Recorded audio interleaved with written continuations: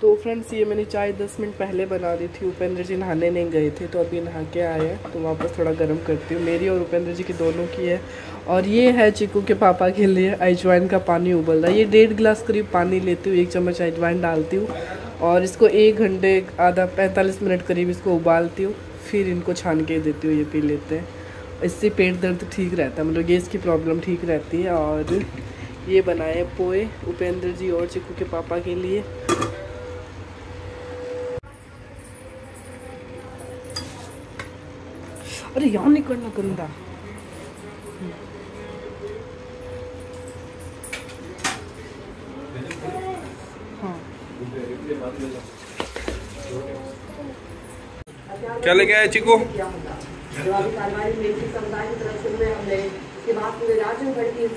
घरों यहाँ आग लगी दूरों का चली लगी पुलिस का दावा फ़िलहाल अंतर में हालात। गृह मंत्री अमित शाह ने मणिपुर के सीएम को दिया हर संभव मदद का भरोसा। मणिपुर हिंसा के चलते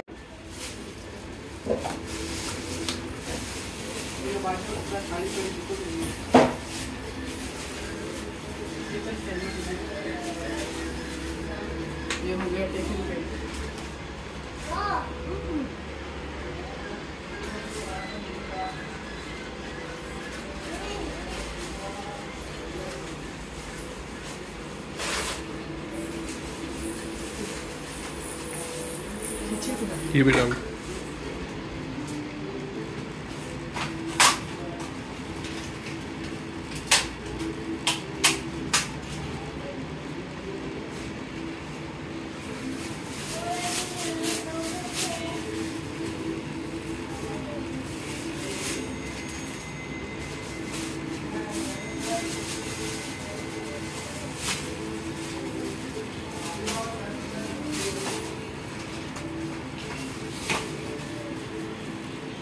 फ्रेंड्स मेहमान जस्ट अभी रवाना हुए हैं और कुछ भी समझ नहीं आ रहा कि कहाँ से शुरू करूँ किचन को समेटने का।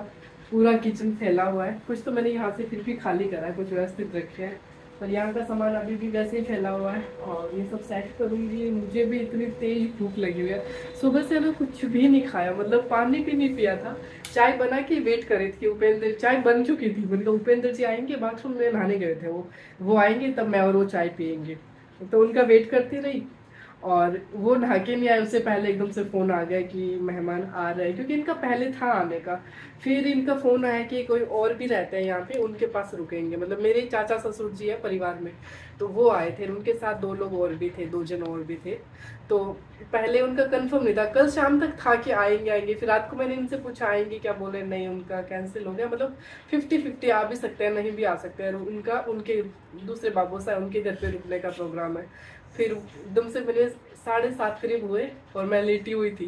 नाश्ता वास्ता बना दिया था चाय भी बन गई थी पोए भी बन गए थे। मैंने कहा वेट कर रहे थे उपेंद्र जी का। फिर मैंने उनको बोला एक बार फ़ोन करके पूछ तो लो कि पहुँचे कि नहीं पहुँचे?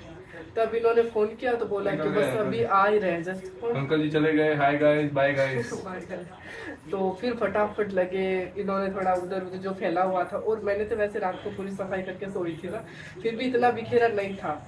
और बस उसके बाद में लगी मैं किचन में और अभी ग्यारह बज रहा है कंटिन्यू साढ़े सात से किचन में मैंने पानी भी नहीं पिया। अब मैं पहले पानी पीऊँगी फिर खाना तो अभी लेट खाऊँगी। पहले पानी पी के थोड़ा थोड़ा सा बैठूँगी दस पंद्रह मिनट। फिर चिकू के पापा को भी भूख लगी हुई है चिकू को भी लगी हुई है सबको खाना खिलाना है।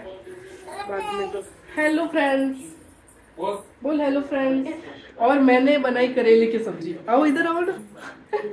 मैंने बनाई करेले की सब्ज़ी। देखो, पति देव पास में नहीं आ रहे। कह रहे, करेला कोई नहीं खाता। करेला कोई नहीं खाता। जबकि उन लोगों ने ना, दूसरी सब्ज़ी कुछ भी नहीं खाई उन्होंने करेला ही सबसे ज़्यादा खाया। और टिफ़िन में भी बोला, करेले की सब्ज़ी डाल देना टिफ़िन में तो। टिफ़िन की टिफ़िन में भी मैंने करेले की सब्ज़ी डाल के दिया उनको। क्या है इसमें?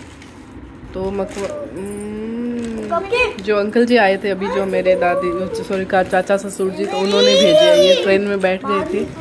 और किसी के साथ भेजे ये सब। ये बहुत खाता वो वाला ना? बहुत सारे बिस, बिस्किट भेजे हैं। ये इतने सारे क्यों भेजे उन्होंने? हम्म? ये देखो जैम वाले भी है। ये अपने पोतों के लिए लाए हैं। तो फ्रेंड्स आज गैस की हालत देखिए, कितनी गंदी हो रखी है, क्योंकि ना, सुबह जल्दी जल्दी मैं चाय बना रही थी, इधर पोए पोए नाश्ते डाल रही थी तो बीच में चाय उफन गई थी, फिर मेरे को ना एक मिनट भी गैस साफ़ करने के लिए टाइम नहीं मिला। कंटिन्यू गैस चालू ही रहा, कभी कुछ बन रहा था, कभी कुछ बन रहा था तो ये पूरा जल के चिपक गई चाय तो मुझे इसको साफ़ करने में नानी याद आएगी, अब इसको स्टैंड हटाती हूँ, और अच्छे से जाली से साफ़ करूँगी, तब जाके ये सारा उतरेगा। क्या हालत कर दी है मैंने। मतलब अगर उसी टाइम बीच में कर लेते ना, दो मिनट निकाल के तो ये इतना गंदा नहीं होता, ऐसे जमता नहीं। तो फ्रेंड्स आज मंगवाई थी आम की पेटी और जो हमारे वो आए थे ना, चाचा, ससुर जी तो वो भी लेके गए थे और एक घर के लिए भी भेजी है। मतलब जो मेरी फैमिली के लिए, उनके साथ, क्योंकि वो एक जगह पे रहते हैं ना, इसलिए और इसमें से कुछ आम खा भी लिए और मेहमान आए थे ना, उनको भी काट के दिए थे। बहुत ही अच्छे और मीठे वाले आम आए इस बारी। कई बार पेटी में, पता आधे पके हुए, आधे कच्चे वैसे आते हैं। पर इस बार मुझे सब सही लग रहा है। ये वाला देखो, थोड़ा सा ऐसा लग रहा है, यहाँ से ख़राब होने वाला। बाकी बहुत मीठे आम आए चिकू, इधर देख। क्या देख रहा है? क्या देख रहा है? मुँह पे तो लगा हुआ पड़ा तेरे। शॉर्ट्स माँ शॉर्ट्स देख फेस गंदा हो गया धोना पड़ेगा चिको का फेस गंदा हो गया। रुक जा रुक जा साफ़ करने तो कुछ लगा हुआ है यहाँ पे। वाओ थोड़ी पिट्टी पिट्टी कर दो थोड़ी पिट्टी पिट्टी। मम्मी को प्यार कर दे चिको थोड़ा सा। चिक्कू मुझे कोई प्यार ही नहीं करता। हम्म, मुझे कोई प्यार। तो फ्रेंड्स मेहमान लोगों के जाने के बाद मैंने किचन का काम ख़त्म किया फिर झाड़ू लगाया। और मैंने झाड़ू लगाया तब तक चिक्कू के पापा सौरों को स्कूल से लेके आ गए थे। और और क्या बता रही थी मैं आपको?